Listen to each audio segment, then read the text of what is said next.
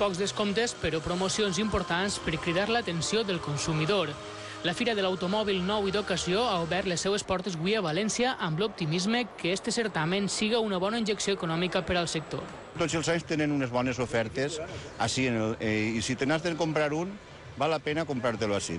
Els venedors asseguren que la baixada de les vendes després del plane ha sigut important. Això fa que s'ajusten els preus als concessionaris i que no es puguen aplicar descomptes radicals en temps de fira. Per no estar en un guany a Plan Genove i ser el primer dia, es consideren satisfets.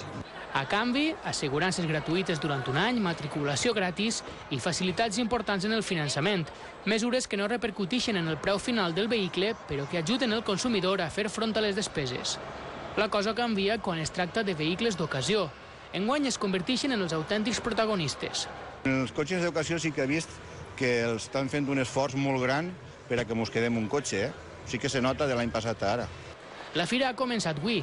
Els venedors tenen ara un pont per davant per convèncer l'usuari.